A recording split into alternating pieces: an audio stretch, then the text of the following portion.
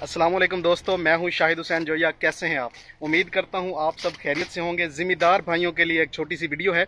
वो लोग जो मार्केट से N P K twenty twenty ख़रीद करते हैं, उनको बता बताता चलूँ कि ये घर पे आप कैसे बना सकते हैं। बहुत ईजी है।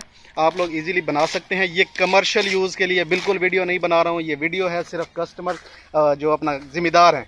वो बनाना चाहें तो इसको बना सकते हैं। बहुत ईजी है। अच्छा है। इसमें तीन चीज़ें इस्तेमाल होती हैं। नंबर वन इस्तेमाल होता है इसके अंदर M A P mono ammonium phosphate. ये है एम ए पी इसके अंदर फास्फोरस मौजूद होती है।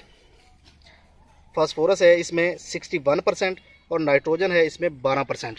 ठीक है जी, ये वाइट कलर में होती है। ये देखें, बिल्कुल वाइट पाउडर टाइप है ये। ये इस्तेमाल होता है। दूसरे नंबर पे इसमें इस्तेमाल होती है S O P sulphate of potash.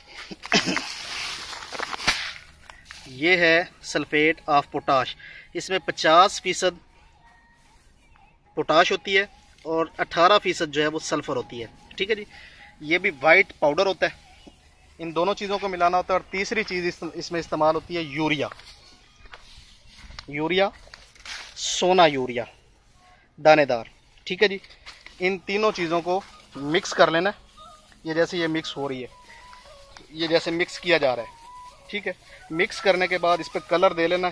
ज़िम्मेदार को तो कलर देने की ज़रूरत ही नहीं है। जो लोग कमर्शियल बेसिस पे करते हैं वो इसको फिर भी जो है ना वो आ, कलर दे लेते हैं। आप वाइट भी इसको चलाएँगे तो ये ठीक रहेगा। ये तीनों चीज़ों को मिक्स कर लें। यूरिया को एमएपी को और एसओपी को। उसके बाद चक्की में डालें। चक्की में डाल के जनाब इसको क्रश कर लें। पाउडर बन जाएगा। आप एक के जी फ़ी एकड़ के हिसाब से किसी भी फ़सल के ऊपर स्प्रे कर सकते हैं फ्लड भी कर सकते हैं। और ये कितनी कितनी डालनी है ये मैं आपको बता देता हूँ ज़रा होल्ड कीजिए। अली भाई इसमें ये एम ए पी कितनी डलेगी? बैच अगर बनाएँ फ़र्ज़ करें पचास के जी या सौ के जी सौ के जी में।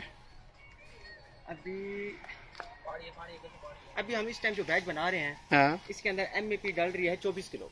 एम ए पी चौबीस किलो सौ के जी में। नहीं इसकी क्वांटिटी आउटपुट निकलेगी तकरीबन डेढ़ सौ किलो। डेढ़ सौ किलो।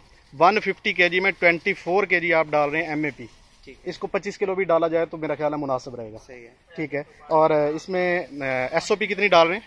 इसमें एस ओ पी डाल रहे हैं साढ़े नौ के जी के तीन बैग यानी कि साढ़े अट्ठाईस किलो। साढ़े अट्ठाईस किलो एस ओ पी डाल रहे हैं। हम्म। यूरिया कितनी डालेगी? यूरिया इसके अंदर डलेगी तेईस किलो। यूरिया इसमें डलेगी तेईस के जी। इसके अलावा भी कोई चीज़ डलेगी इसमें? नहीं। बस ये तीन चीज़ें डलेंगी। लेकिन ये तो डेढ़ सौ के जी नहीं बनती। ये जितनी भी क्वांटिटी में बनेगी उतना के जी अच्छा यानी रेसिपी यही रहेगी जितनी भी आउटपुट निकलेगी। हाँ, सारी जो आपस में मिलकर ट्वेंटी ट्वेंटी ट्वेंटी बन ट्वेंटी ट्वेंटी बन जाएगा। दोबारा रिपीट कर देंगे।